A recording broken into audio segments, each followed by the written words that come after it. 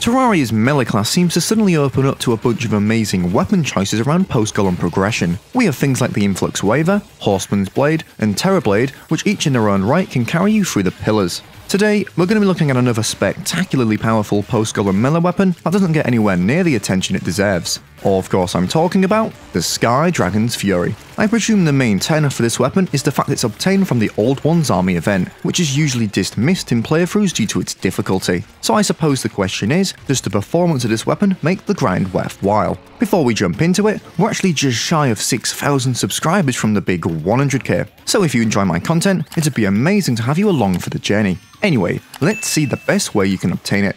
As mentioned, the Sky Dragon's Fury was added as part of the Dungeon Defenders 2 crossover update and is obtained from the Old Ones Army event. This can be summoned by talking to your Tavern Keep and purchasing an Eternia Crystal stand and crystal. It's also worth noting that here you can purchase traps using Defender medals to further help you with the event. Now then, due to the way the Old Ones Army event scales, we are required to have taken out Golem for the final few waves to be reachable, and as the Sky Dragon's Fury is a Betsy drop, you will have to complete the event in its entirety. To make this as easy as possible, I'd recommend creating a completely flat platform in your sky with a minimum of 61 tiles in both directions. And while you can totally go with this, I'd extend your platforms by another 20 or so tiles in both directions to give yourself more room. Okay then, with the event underway, you're going to want to just blitz through all the early rounds as quickly as possible using a weapon like the Scourge of the Corruptor. The Scourge is great for this kind of stuff as it's able to hit a load of enemies at once while still dealing reliable DPS to single targets. But other fantastic options include the Vampire Knives, North Pole, and Terrorblade.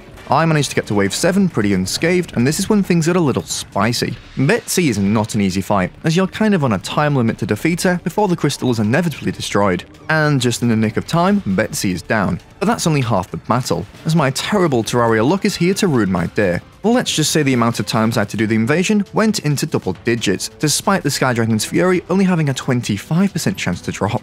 Okay, so let's see how it performs. The Sky Dragon's Fury is quite a unique weapon, having two fire modes that function very differently. When left clicking, the weapon will spin in a 360 degree radius around the player, leaving behind an energy trail. It also seems this deals twice as many hits when an enemy is in the inner radius of the circle. When right clicking, the weapon begins to swing around in front of the player and randomly shoots three electrosphere projectiles that function almost identically to the ones fired from the electrosphere launcher. Unfortunately, these deal nowhere near the DPS the launcher though, due to them dissipating much quicker. Against enemies, the spinning attack absolutely rips through crowds thanks to being able to hit seemingly an infinite number of enemies at a time. Against tanky single targets like Biome Mimics, however, it was a little hard to aim because of the random attack pattern it fires in. This meant that despite the amount of times I was firing, hardly any made contact with the mimics. So with this in mind, I didn't have my hopes that high for the cultist, but I have to say I was pleasantly surprised. My experience with its Electrosphere attack wasn't the best due to the inaccuracy, but I soon discovered how much damage its spinning attack could deal when landed correctly.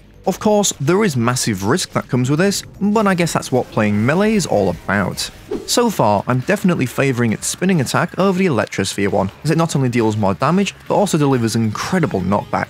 You can see me standing entirely still during a vortex pillar and keeping away from anything that tried to get close. The only thing that could hit me during this pillar was the lightning from the portals. I'm really impressed with what this weapon has to offer. Yes, it's not perfect, but as a frequent melee player, I can't say no to having a weapon with both a ranged and close quarters attack. In my opinion though, unless you're someone who completes the Old Ones army and defeats Betsy regularly, the time and brain cells I lost farming for this thing is totally not worth it. I'm pretty sure I could have made it to the Moonlord with weapons I already had in the time it took me to get one. What do you think? Is the Sky Dragon's Fury worth getting, or just another Betsy drop to forget about? Thanks for watching. For more Terraria content like this, drop a like and subscribe, and I'll see you in the next one.